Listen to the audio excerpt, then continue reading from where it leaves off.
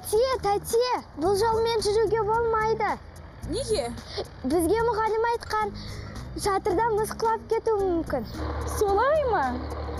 Көрдіңіздер ме? Кішкентайлар да білетін қарапайым ережені ересектер ескермей жатады шатырдан басыңызға мұз түссе аман қалуыңыз екіталай. Сондықтан қарапайым қауіпсіздік ережелерін тағы бір мәрте еске салған жөн көрдік. Жүре ғой.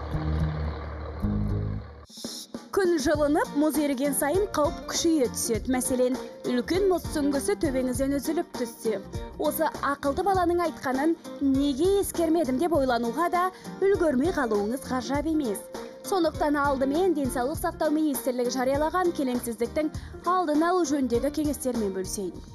Ғимараттардың қабырғаларын жиектеп жүру қауіпті. Шатыр ернеуінен мұз көрсеңіз басқа жаққа қарай өтіңіз. Үйді немесе ғимаратты басқарушыға ескертіңіз.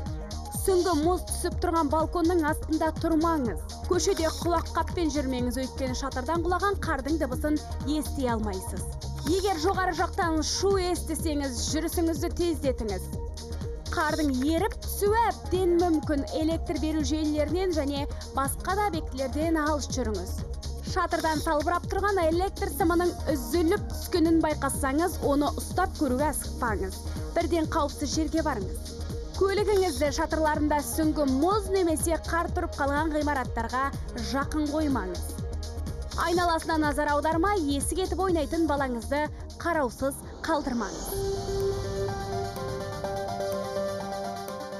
олай болса азаматтарды ескерту үшін көшеге шықтық қаланың бірнеше жерінде ғимараттардан төгілген мұздар бар екен Понятно, вот здесь у вас вот опасно, надо выбирать там как-то или Да. силами искать. Күнделікті қарбаласта қарапайым қауіпсіздікті ескермейтін тұрғындарға құтқарушылардың айтары бар.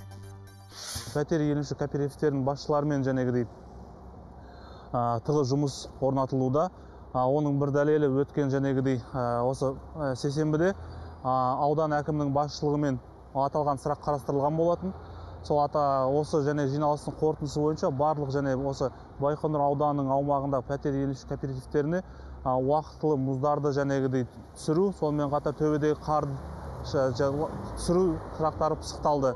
Қазіргі таңда жалпы байқоңыр ауданы төтенше жағдай басқармасымен екі жүз қырық сегіз жәнегідей ақпараттық хат таратылды.